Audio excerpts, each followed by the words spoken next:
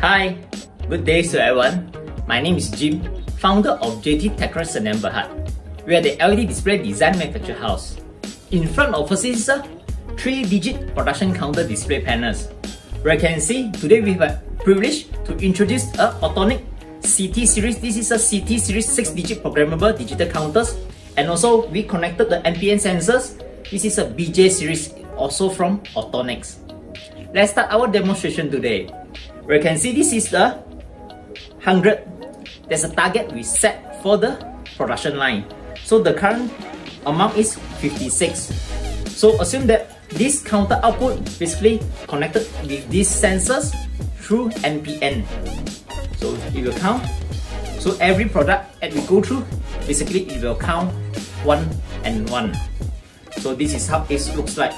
So you go through the sensors, you cut through. So cut faster. Okay, this is how it looks like.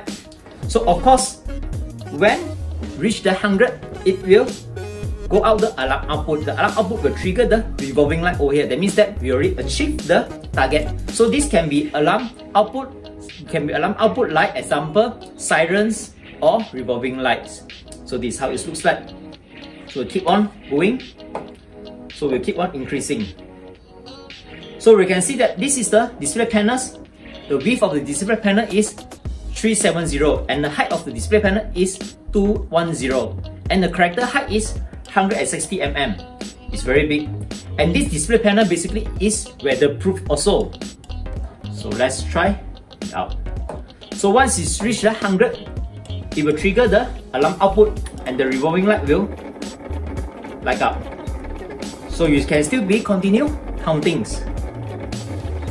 Okay? So this is how looks like.